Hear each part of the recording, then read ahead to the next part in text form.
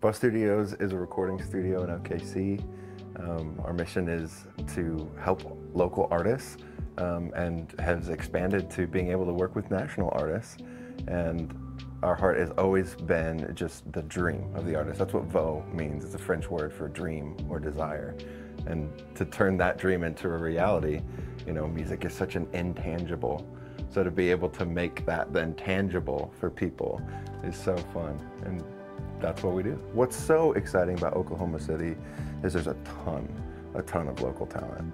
Um, and I, it's almost like every time I throw a rock, I hit another incredible, incredible vocalist or artist or songwriter. And so um, those of us in the music scene know that some of the biggest acts in country music and pop music today on the main stage, the global stage, come from Oklahoma.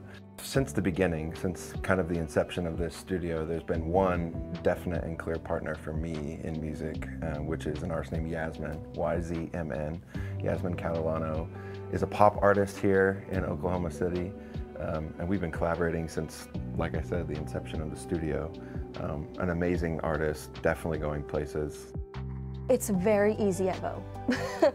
it's very easy at Veux and it's very easy with James because um, this studio, it's probably the safest that I've ever felt in my entire life, recording anywhere. I think uh, with James and I specifically, when we collaborate, he's very in tune with the um, message that I'm trying to send with the song. He's very in tune with like, what's my vision? That's the first thing that he asks before we do anything is like, what do you want people to feel? What do you, what do you want to, what message do you want to send? So that he makes sure that he's on the same level as me. I get to be one of the producers on our team. Uh, my specialty tends to be more female artists, pop vocal sounds. Um, the two artists that I get to manage are in that genre. Um, but we have a team of incredible people.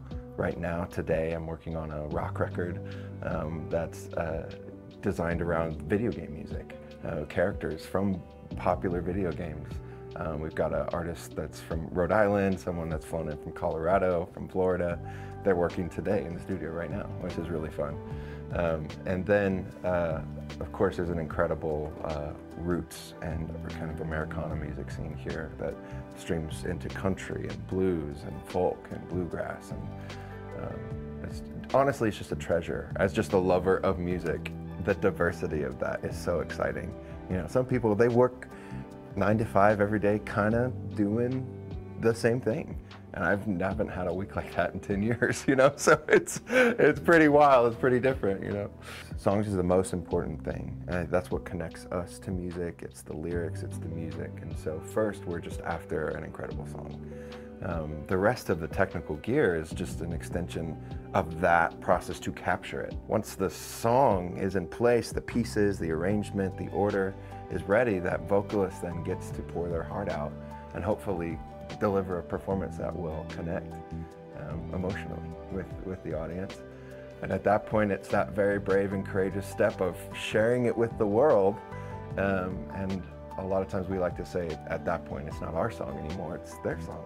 It's scary at first because really, um, it's, it's like you're offering a piece of yourself um, to whoever wants to listen.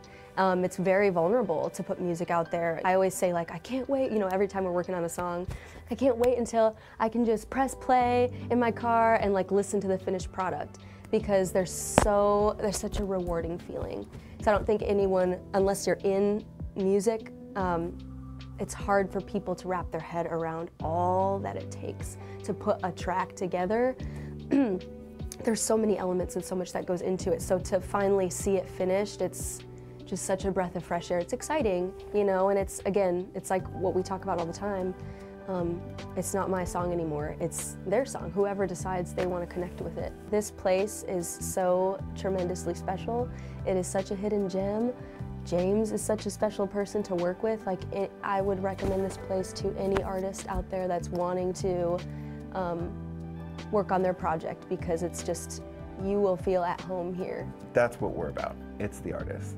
And though I get to kind of sit in all of those groups, um, it's incredibly exciting for me to highlight them and put them at the forefront. That's what's so fun about being a producer is being in the background and lifting up an artist's vision and their sound and sharing it with the world. So the next time you're listening to a new artist like Yasmin, chances are it came from a special place like Veux Studios.